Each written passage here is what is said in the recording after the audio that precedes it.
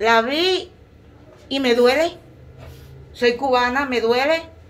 Sé que muchos han quedado en el camino por la defensa de los derechos humanos y que nosotros seguimos, tenemos que seguir eso y es Plana en la, a través de la película lo que le rinde es un tributo a todas aquellas personas que murieron y aún se mantienen en cárceles por la defensa de los derechos humanos. Gracias a Lilo por acordarse de aquello y por mantener viva esa llama para la democracia en Cuba. Sin duda, y hay una realidad, gracias al sacrificio de ellos, hoy la lucha tiene otra característica. Sigue el mismo régimen, pero ya el régimen no puede hacerle a los prisioneros políticos lo que le hicieron a ellos en aquellos tiempos. En aquellos tiempos no había defensa ninguna. No existían los mecanismos que gracias a ellos, que fueron los pioneros de la lucha, hoy tenemos. Hoy el preso político que se sepa defender, se sepa mantener con firmeza, con coraje, con dignidad en prisión, y su familia le defienda adecuadamente y la organización a la que pertenece juegue el rol que debe jugar, no tiene que pasar por esas situaciones. No es nada fácil tampoco la prisión, pero nada que ver con lo que pasaron ellos en los primeros tiempos. Por eso estamos en deuda con ellos. Karen, ¿qué te parece la película? Eh, no, sin palabras, porque de veras que es muy emotiva la película. Eh, ver cómo esos hombres pasaron ese calvario y luego los testimonios del final de la, de la película como tal, eh, testificando eso y, hablando todo ese calvario. Sin lugar a dudas, eh, en estos momentos, lo que ellos lograron y lo que acaba de decir José Daniel con respecto a, ese significado, a esa valentía, a esa entrega, y de que hoy en día las cosas eh, hayan mejorado un tin con respecto a, a, todo eso, sin discusión alguna, lo que se merece es, todos esos hombres es esto. Un aplauso. Miraida, Miraida, Miraida, Miraida va a decirnos algo de la película. A mí me pareció triste, indignante. Eh, sabemos que los presos de hoy no pasan cosas como esa, pero sí aún con cosas bastante fuertes. Hay algunos de aquí que estuvieron en prisión y si lo saben bien, a mí me, me tocó bien de cerca y lo que más me duele aún, que es lo que verdaderamente me pone muy mal, es que todavía no hemos acabado con esos malditos envíos. Esta película, muy excelente. A mí no me gustan las películas, pero esta película es muy estupenda. Se basa en, en, la vida real de muchos hombres que lucharon por la libertad de Cuba, que, bueno, en aquellos tiempos eh, fueron discriminados, arbitrariamente los despojaron de sus bienes, inclusive en la familia, inclusive su integración física, su integración moral. Y eh, todas las personas que estamos aquí nos gustó la película y, bueno, ya que eso va a salir una directa, le, diremos a esos birros que actualmente, que actualmente están arbitrariamente tomando todas las medidas que, que vean esa película, que es muy importante. Y darle gracias a a la niña de todos que estamos aquí, que está muy bella la, película. Y Patria y Vida. Eh, para mí, demasiado, muy emotiva, eh, muy triste vivir. ¿No mucho? Después, no, para nada. Es, es por la emoción. No, pero es que hay, lágrimas que no son de dolor, son de rabia. De rabia y de impotencia de ver todo lo que vivieron y lo que están viviendo todavía nuestros presos políticos en esas condiciones inhumanas, degradantes, lo que sienten las madres, lo que sienten esos hijos, lo que sienten todas esas esposas. y que me lleven, y que paguen vida, y lo que sienten esos presos, y que sí, nos mantenemos plantados así como se dice, nos mantenemos plantados y que viva nuestra, nuestra Cuba, que la libertad, libertad, democracia, justicia. Sí, bueno, es una película que recoge la realidad, porque la realidad que en aquello, la realidad que en aquellos tiempos, toda esa barbarie que se hacía, porque yo sí sé, yo sí sé, sin haber vivido esas cosas, en aquellos tiempos, yo sí sé que son eso, todo lo, lo, que, lo que sucedió ahí, todo esos testimonios, todo eso es verdad.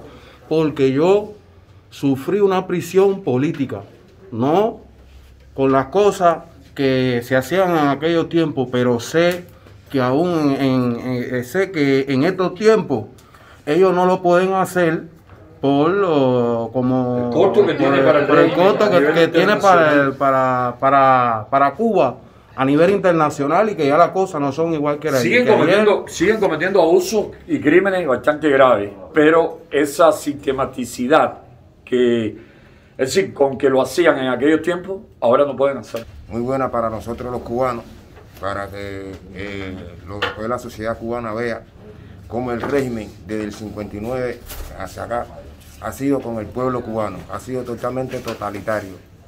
Yo soy, yo, he sido, yo soy un preso político que de cierta forma, de cierta manera, he sufrido represiones y esas mismas palabras que dicen esos esbirros que estaban ahí en la película, esas mismas palabras así mismo se, expresaban, se expresan con los presos hoy en la actualidad. Y es muy bueno que esa película la vea el pueblo, porque el pueblo ve y se desengaña más, porque hoy en la actualidad siguen, la- siguen las represiones con más moder- moderación de, no es como así en la película, pero siguen las, una- la- la- la- las represiones brutal con golpiza, porque yo mismo he sufrido grandes golpizas de la dictadura. Me han quitado la ropa, me han filmado y, y es así mismo, así mismo, es así mismo. Y seguiremos luchando firmemente y patria y vida.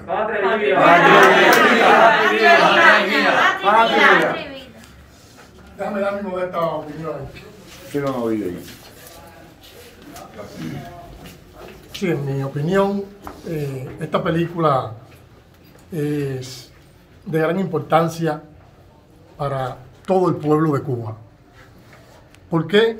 Porque nos enseña desde el primer momento que entró la mal llamada revolución en su triunfo en el año 59, cómo violó y pudimos ver en este mismo filme eh, estos presos que los mismos guardias le decían, pero ven acá, no odiaban ustedes el uniforme amarillo de Batista. Y ellos respondían claramente y decían sí, pero ahora estamos en contra del abuso que viene haciendo el comunismo.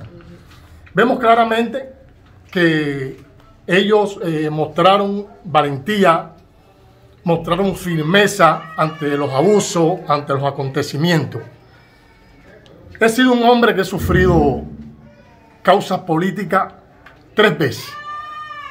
Estuve en el presidio político en el año 91, mi primera causa por motivos políticos, fui acusado de propaganda enemiga y pude estar en una compañía en la prisión de Boniato, donde el teniente coronel, director de la prisión en aquel momento que se llamaba Israel Coba Dulzú, unió a todos los presos que estábamos por motivos políticos en un solo destacamento. Esto tuvo que desbaratarlo automáticamente. Cuando nos unió, pudimos darnos cuenta lo que es la fuerza de la unidad. Allí unidos pudimos eh, mantenernos de pie ante el dolor, ante las violaciones que se cometían y tuvieron que dispersarnos por diferentes partes de Cuba. A otros, algunos se lo llevaron para provincia por la fuerza que cogió esto dentro de la prisión. Hemos sido vejados, hemos sido, no como en aquel momento, ya hemos dicho mucho, la prisión, pero sí se sigue torturando, sí se sigue abusando de los presos políticos y comunes también. Son amarrados con chaquiras, con esposas en reja, golpeados criminalmente, y lo sigue haciendo este régimen para buscar la manera de mantener callado a todo aquel que de una manera u otra alza su voz a favor de la causa justa, noble, de lo que es la libertad de Cuba.